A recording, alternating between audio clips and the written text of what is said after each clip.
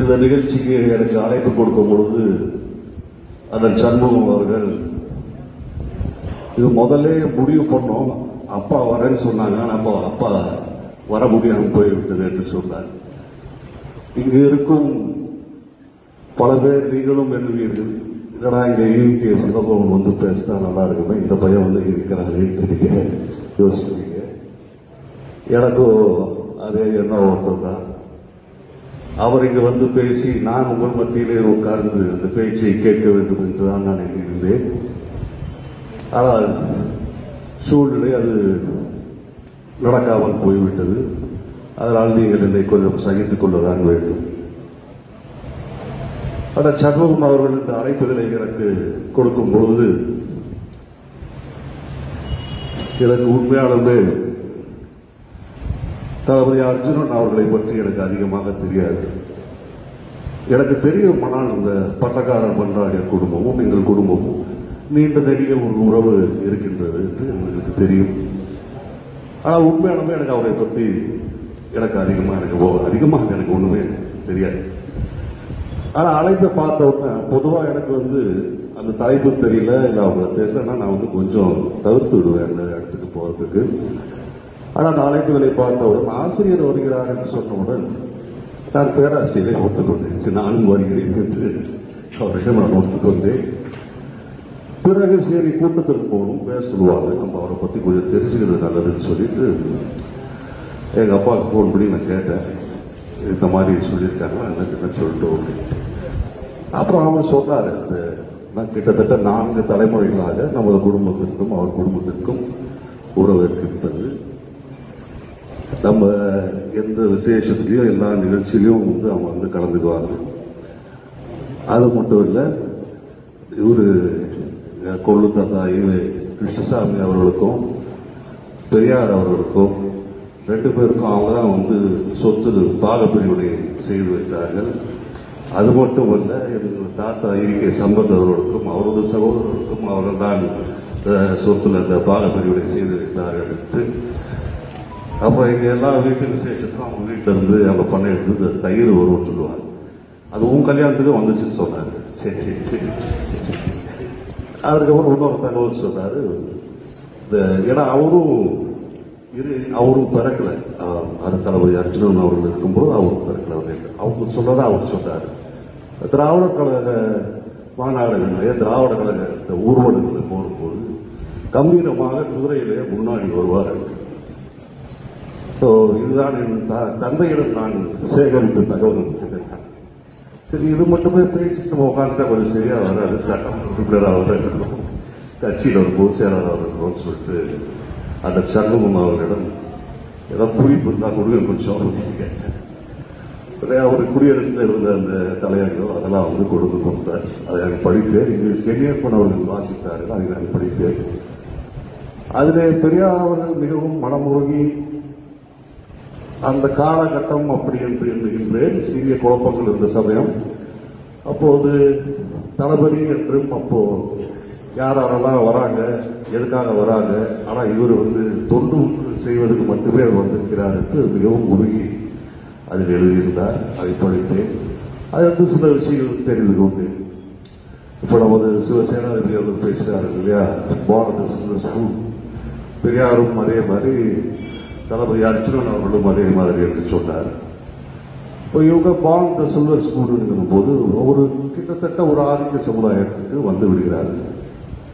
அப்பொழுது அவர்கள் இந்த பெரும்பாலும் நிகழ்ச்சிகளில் இந்த நட்பு வட்டாரம் சரி உறவு வட்டாரத்தில் சரி இந்த இர பிறப்பு காது குத்தல் அது பூப்பெய்து திருமணம் குழந்தை பிறப்பு அப்புறம் அந்த அறுபதாவது கல்யாணம் இது போன்ற பல நிகழ்ச்சிகள் வந்து அவர்கள் கலந்து கொள்ள நேரிடும். அப்பொழுது அந்த நிகழ்ச்சிகள் எல்லாம் பல அரட்டை கச்சேரிகள் வந்து நடைபெறும். அப்ப இங்க பெரும்பான்மை மக்கள் ஒரு சமுதாயத்தை சேர்ந்த பெரும்பான்மை மக்கள் எப்பொழுதுமே ஆதிக்க சக்திகளுக்கு ஆதரித்து தான் கருத்துக்களை பேசிக் கொண்டிருப்பார்கள். நிலைமைகள் மாறுவதற்கோ லைக் like to நிலைமைகள் மாறுவதை அவர்கள் வந்து விரும்புவதில்லை. அதில் வரைக்கும் இரண்டு பேர்.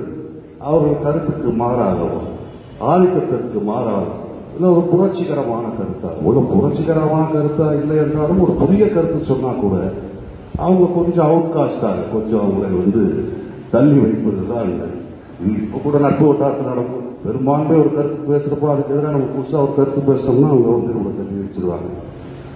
ஆனால் இவர்கள் இரண்டு பேருமே பெரியார் அவர்களும் சரி தளபதி அர்ஜுனன் அவர்களும் சரி. இது போன்ற ஒரு ஆதிக்க சமுதாயத்திலே அந்தஸ்து தகுதி செல்வம் இதெல்லாம் இருந்து இவர்கள் அப்படியே நேர்மாறான ஒரு கருத்தை வந்து எடுத்து பேசுகிறார்கள். அப்பொழுது அவர்கள் அழுத்தம் எவ்வளவு இருக்கும் என்பதை நாம் சிந்தித்துக் கொள்ளலாம். நாம் யோசித்து பார்த்துக் கொள்ளலாம். இன்றைக்கும் அது இருக்கின்றது. அப்போ எழுபது எண்பது வருஷத்துக்கு முன்னாடி எவ்வளவு பெரிய அழுத்தம் இருக்குது ஆனால் அந்த அழுத்தத்தை எல்லாம் மீறி அவளை பிழைத்து இந்த சங்கிலிகள் எல்லாம் உழைத்து தகர்த்தெறிந்து அவர்கள் மக்களுக்கு தொண்டு செய்ய வந்திருக்கின்றார்கள் என்றால் அது சாதாரண விஷயம் அல்ல. உண்மையானது புரட்சியாளர்கள் என்றால் இதுதான் இவர்கள் தான். அதே போல சொன்னார்கள் அவர்கள் ஏராளமான ஏக்கர் நிலம் உண்டு மாடுகள் உண்டு செல்வங்கள் உண்டு என்று. இப்போ ரெண்டு இருக்கு ஒண்ணு. இப்போ நிறைய பணம் வச்சிருக்கவங்க வந்து தான தர்மம் செய்யறதுங்கிறது ஒரு விஷயம். வேணும் கிளாஸ் நீங்க கொடுக்கலாம் நீங்க போய் தர நன்றி சாமி நம்ம சொல்லுவாங்க அந்த மாதிரி தான தாராளமான அந்த இந்த தானம் பண்ணுவது என்பது ஒன்று நீயும் நானும் சமம் என்று சொல்வது வேறு இது யார் வேணா செய்யலாம் நிறைய பணம் இருக்கிறவங்க கொஞ்சம் பணத்துக்கு எல்லாமே அவங்க கீழே பணம் இல்லாதவங்களுக்கு பண உதவி கொடுத்து இது பண்ணலாம் ஆனா இவ்வளவு பெரிய அந்தஸ்தில் அந்த குடியரசு தலையங்கத்தில் அந்த வாசிக்கப்பட்ட போது அந்தஸ்தை அவர் பெருசாக நினைக்கவில்லை என்று சொல்லும்போது இதுதான். அவர் அவரிடம் நிறைய இருக்கின்றது என்பதற்காக அவர் வந்து தாராளமாக தாராளமாக அப்படி பண்ணல நீ நான் சமம் என்று சொன்னார். அந்த வகையிலே அவர் உயர்ந்து நிற்கின்றார். அது மட்டுமல்ல இப்போ இதுக்கு முன்னாடி சொன்னாங்க அவர் முதல் பொருளாளர் முதல் பொருளாளர் முதல் பொருளாளர். அதற்கு பின்னாடி நிறைய அர்த்தங்கள் இருக்கிறது. ஆசிரியர் அவர்களுக்கு தெரியும் என்று நான் இருக்கின்றேன் இந்த கரோட பெட்டியின் சாவி என்பது அது ஒரு பெரிய குழப்ப சூழ்நிலைகள் எல்லாம் இருந்திருக்கின்றது அந்த காலத்திலே. நான் இந்த நான் பெரியார் அவரை நேரில் பார்த்ததில்லை நான் என் தாத்தா இயற்கை சம்பத் அவர்களையும் நேரில் பார்த்ததில்லை.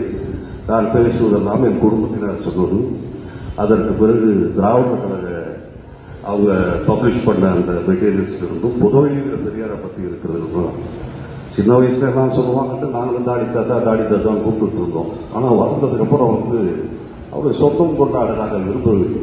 அவர் பெரியாராகவே நிற்கின்றார் அந்த பெரியாராக ஒரு கருத்து உருவமாக என் மனதில் இருக்கின்றார் அவர் என்னோட மனசாட்சியாகவும் இருக்கின்றார் அதாவது வாக்கு கேட்க போறப்ப கூட திடீர்னு ஒரு ஒரு சின்ன மின்னல் வெட்டு மாதிரி மன ஓட்டம் ஓடும் அவர் ஏதோ பின்னாடி இருந்துட்டு அது என்னுடைய மன கருத்து உருவம் பின்னாடி நின்றுட்டு அந்த தண்ணியினுடைய கடைசியை பிடிச்சிட்டு அந்த கைப்பிடியில காரை பிடிச்சிருக்கிற மாதிரி ஏன்னா ஓட்டு வச்சு கேட்டு அது மாதிரி தோன்றும். ஸோ அதன் அடிப்படையிலே மனதில் இருக்கின்ற ஒரு கருத்து உருவம் இந்த ஆள் மனதிலே உறவின் ரீதியாக அவரை ஏற்றுக்கொண்டு அது ஒரு மனசாட்சியாக. அதில் வைத்து இந்த மெஷர் பண்றப்போ ஒரு சில விஷயங்கள் வந்து எனக்கு தோணுது. அதைதான் வந்து அதைதான் நான் இங்கே பேசிக் கொண்டிருக்கின்றேன். ஸோ அப்படி அவர் அந்த முதல் பொருளாளர் என்பதற்கு பல விஷயங்கள் பல வரலாறு தெரிஞ்சவர்களுக்கெல்லாம் தெரியும். அது வந்து அவ்வளவு சீக்கிரத்தில் வந்து பெரியார் அவர்கள் யாரையும் பல விஷயத்திலே நம்பி பொறுப்பை கொடுத்து விட மாட்டார். அந்த கருவூல சாவி அப்போ அவர் கொடுத்திருக்கிறார் என்றார். பெரியார் அவர்கள் அர்ஜுனன் அவர்களை தன்னில் ஒருவனாக தான் அவர் கருதியிருக்கிறார் என்பதே ஒரு நிதர்சனமான இது வந்து நான் அந்த அந்த சண்முகம் கொடுத்த குறிப்பிலிருந்து நான் தெரிந்து கொண்டது. ஆனால் அது மட்டுமல்ல பெரியாரை பல பேர் பாராட்டுவார்கள் புகழ் பாடுவார்கள். அது ஒவ்வொருவரின் பயன்பாட்டை பொறுத்து பெண்களே கூட பெண் விடுதலைக்காக பெரியாரை பாராட்டிவிட்டு ஆனால் சமூக ரீதி என்று வரும்போது கொஞ்சம் ஒதுங்கிக் கொள்வார். சில இடங்களில் நான் எல்லோரும் சொல்ல வேண்டும். அதே போல சமூக நீதிக்காக பெரியாரை பாராட்டிவிட்டு கனவு பொறுப்பை அவர்கள் மறுத்து விடுவார். இவை மூணையும் ஒட்டுக்கொண்டாலும் வாக்கு அரசுக்கு போகக்கூடாது என்று சொன்னதை கேட்க மாட்டார்கள். வாக்கு அரசு சென்றுள்ளார் அது பூர்வமான ஒரு கருப்பு சட்டைக்காரன் என்பது மிக அரிது அந்த சட்டையை போடுவதும் அரிது அந்த சட்டையாக மாறுவதும் அரிது அந்த சட்டைக்கு அந்த கருப்பு சட்டை படக்கு தளபதியாக இருப்பது என்பது அரிதிலும் அறிவு.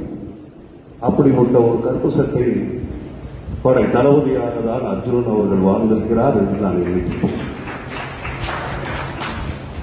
இது அண்ணன் சண்முகம் அவர்கள் கொடுத்த குறிப்பிட்டிருந்து நான் தெரிந்து கொண்டது.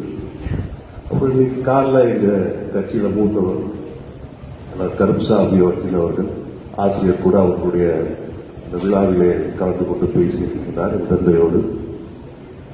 அங்கே அவருடைய மறைவிற்கு நான் கொஞ்சம் காலம் தாண்டுதான் சென்றேன். அங்கு சென்றபோது அங்கிருந்த திராவிட கழக கோவில் மாவட்ட தலைவர்களும் செடியை போன்றவர்களும் எங்கள் வடக்கு மாவட்ட காங்கிரஸ் தலைவர் திரு சரவணன் அவர்களும் அங்கு எனக்கு ஒரு பரிசு பெட்டகம் போன்று அந்த புத்தகத்தை கொடுத்தார். எதுவுமே அறியாமல் விழாவுக்கு ஒத்துக்கொண்டவர் அந்த புத்தகத்தை படித்து முடித்தவுடன் அர்ஜுனன் என்பவரை பூர்ணமாக அறிந்து கொண்டேன் என்பதே உண்மை. அந்த புத்தகத்தை தொகுத்து வெளியிட்டிருப்பவர் ஆசிரியர் அவர்கள். நாம் சொல்லலாம் இந்த ஒரு பெரியார் வந்தா நல்லா இருக்குது இன்னும் இப்ப இந்த காலம் இன்னொரு பெரியார் வேண்டும் என்று அப்படி இல்லை. பெரியார் தேவையில்லை. பெரியாருடைய கருத்துக்கள் இருக்கின்றன. அதுவே போதுமானது. அந்த கருத்துக்களை நாம் சரியான முறையில் பரப்பும் மேலால் அதுவே போதுமானது. அதே போலதான் மீண்டும் ஒரு அர்ஜுனன் நமக்கு தேவையில்லை. ஏனென்றால் அந்த அர்ஜுனனை தொகுத்து ஆசிரியர் அந்த புத்தகத்தை வெளியிட்டிருக்கின்றார். அந்த புத்தகம் அனைவரின் கைகளிலே சென்றடைந்தாலும் போதும். இன்று இருக்கும் இந்த இக்கட்டான நிலையிலே இந்த தேசம் அது குறிப்பாக இந்த பிரதேசத்திற்கு அந்த புத்தகம் அவர்களுடைய அறியாமையை நீக்கும் என்று நான் எண்ணுகின்றேன் அந்த புத்தகத்திலிருந்தே நான் எடுத்த சில குறிப்புகளை மட்டும் சுட்டியை காட்டிவிட்டு நான் விடைபெறலாம் என்று நினைக்கின்றேன்.